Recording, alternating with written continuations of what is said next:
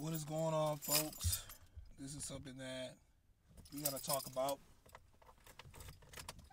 I'm talking to my black brothers and sisters out there, but I'm gonna talk to my black men out there today.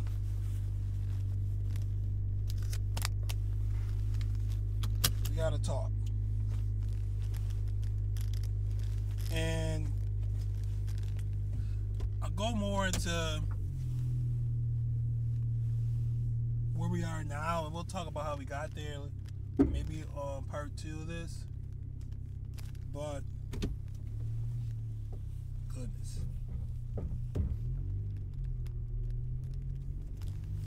it's just annoying that there's no peace for for men nowadays. No peace. Black men you know, when I think about us, there's two characters, actually three characters in the Bible that made me think of the black man. Actually, more than that, but but you know what I think of first? I think of Adam. That's who I think of.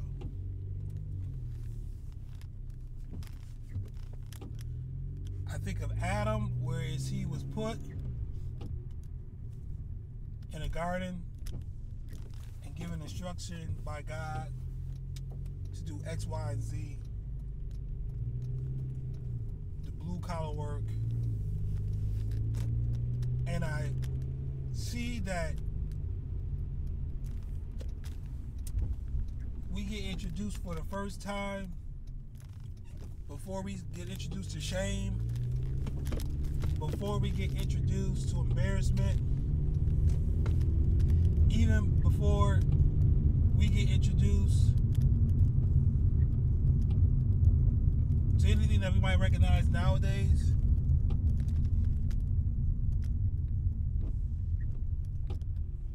We get introduced to depression.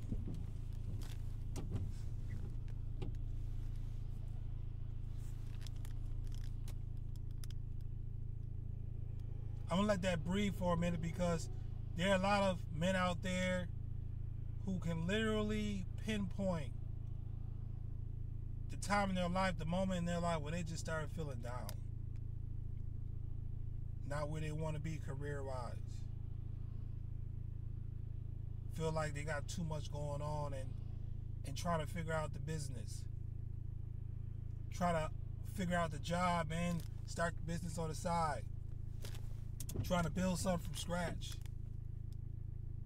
And through all that of you trying to do something, take on something great, being given a level of responsibility with your gift, and you're met with depression. The depression of not having friends help you, the depression of having family around that are seeing you drowning and not even throwing you a floater device, the depression of why you go into obstacles and, and difficulties in life, and even if people out here that listen to this don't even read the Bible, you can at least acknowledge the fact that in this book, there's a man that is given a responsibility and all he's surrounded by is individuals or entities, not even humans. He's surrounded by animals that nobody can help him with his type of work.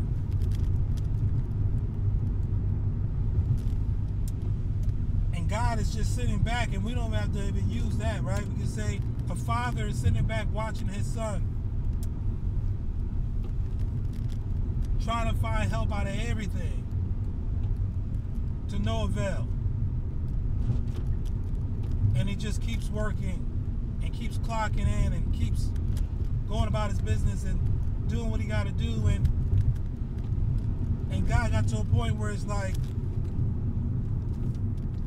I'm gonna put him to sleep because he ain't smiling like he used to. Put him to sleep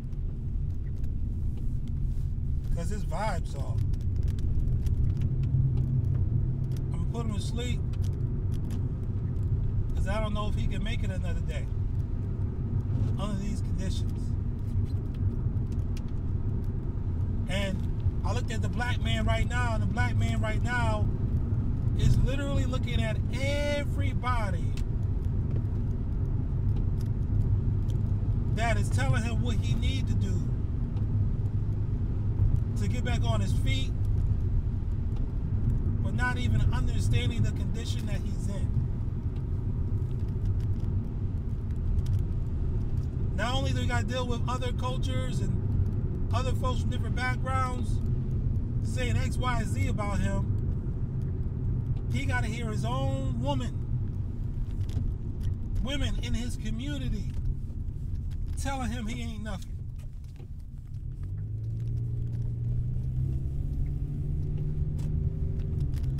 Hearing his own kids, his own mom, his own significant other, his siblings,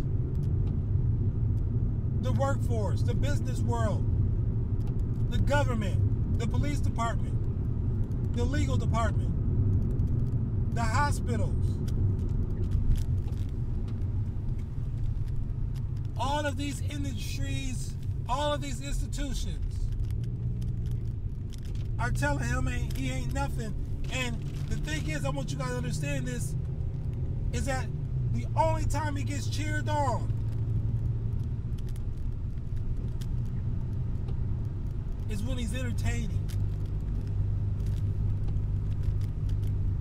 Because when he's entertaining and somebody's tied to the win and tied to the sport, they get a return on investment.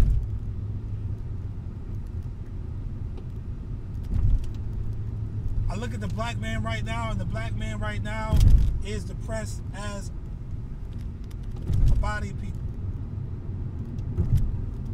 Depressed because who can we turn to for help? Not the help that people think we need, but the help that we definitely need. Now, God looks at Adam and puts him to sleep and says he needs a helpmate. Adam never asked for a helpmate because Adam had never met a human before. Only point of reference of he having anybody that could be a potential helpmate is what he was surrounded by, and it was animals. Beast, birds. But no one like him.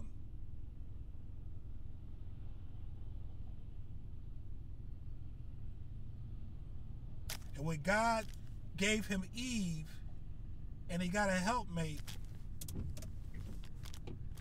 Adam thought things were on the up and up. Adam thought things were on the up and up.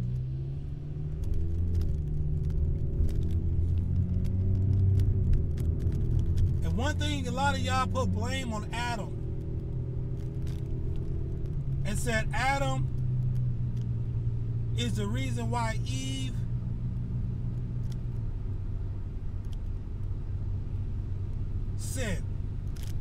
Because he should have been paying attention to her. And what you fail to mention is that all Adam ever knew how to do was work. So even though she came around, it didn't change his work. He still was putting in work and she was wandering around.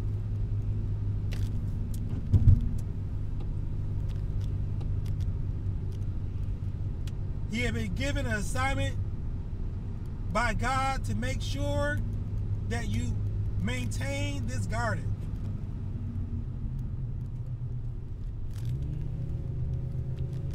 So having to lead and make sure that things were taken care of.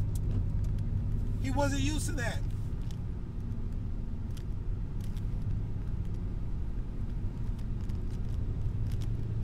There are many men out there right now that are trying to build an empire and they got somebody and get no help. That person is roaming around, getting involved into situations, involving themselves with snakes, involving themselves with forbidden fruit. Whole time the man just trying to put in some work and try to figure this out. See, it's amazing. No one is rocking with you when you building stuff from scratch. Even from a cooking perspective. When they see you in there and they see you getting down to the bare ingredients of a recipe, ain't nobody in the kitchen. There ain't no sense, ain't no smell, ain't no aroma in the air. No one's in the kitchen. But as soon as it reaches the level of getting into an oven, as soon as it gets onto the stove, as soon as it's wrapping up to be done, everybody shows up in the kitchen. Eve listened to a snake, and a lot of you women out there are listening to the snakes as well. You're listening to everybody say everything about the black man. Snakes. You listen to them folks that benefit off of you not speaking life into your man. They benefit off of you being on different pages pages of your man. They benefit off of you and your man being separated. There are bodies of folks that benefit off of us not being on the same page. The snake was no different. A wise snake said, if I can get them on different pages, I can cause some issues and concern. And that's one of the toughest things I tell you out there, fellas. Every at the heart of every addiction, at the heart of every toxic thing in this world, isolation is the number one piece.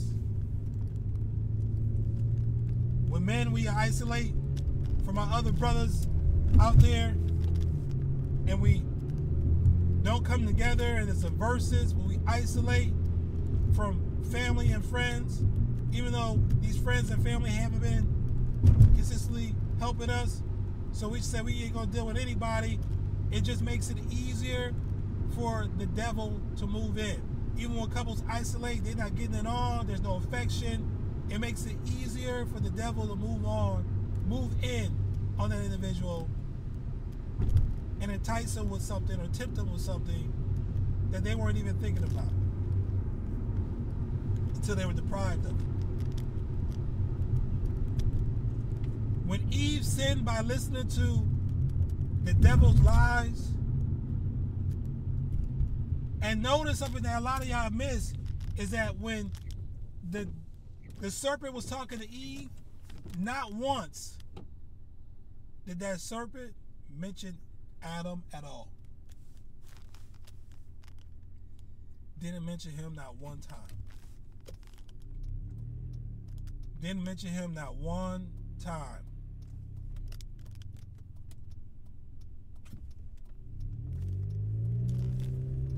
Didn't say, whereas Adam, he loved the fact that they were separated. They never came to both of them when they were united front. He came when Eve was away. He didn't even come to Adam when he was by himself. That entire time, that serpent never tempted Adam before Eve came around. So Adam was feeling some type of way when she ate the forbidden fruit she ended up giving it to him. Did he even know where it came from? Did he see her get it from that tree? I mean, Adam was down there. He didn't try all the trees while he was in the garden. So how would he have known? So he eats the fruit that Eve gives to him. And literally, both of their eyes are open. Adam did not ask for Eve, and he has Eve, and Eve sins. And the crazy thing about it is, now God is angry at Adam for being a poor leader and puts the responsibility of Eve's actions on Adam.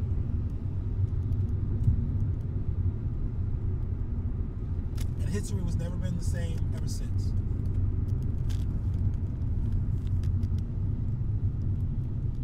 Eve got her punishment. Adam got his punishment. The serpent got his punishment. But here's something that you guys missing. Is that Adam's punishment that he had to work harder. When he already was feeling overwhelmed before Eve came. I look at the situation right now with black men right now they might not feel that they're getting necessary help from the women. They're not getting help from the men in the society. And you know what? To be perfectly honest, they're not helping themselves. Some of us out there in the atmosphere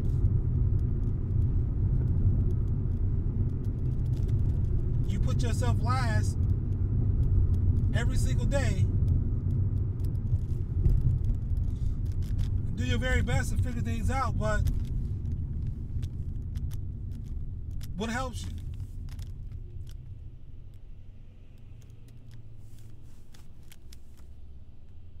We're in a condition right now that we're in because we're so separated. Men don't know who's the friend, who who's the foe. I mean, I saw the whole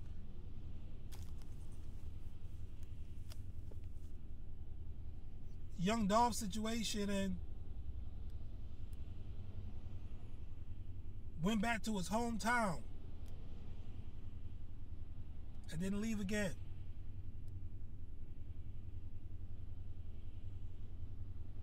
We as black men out there don't know who the Judas is. We don't know who the Peters are. We don't know who is who.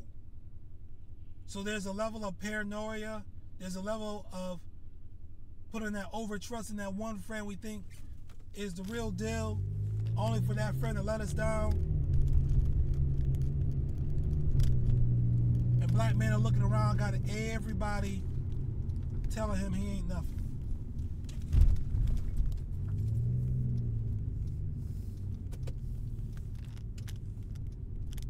Imagine being here in this life, ladies, and everywhere you turn, there's somebody blaming you or blaming your situation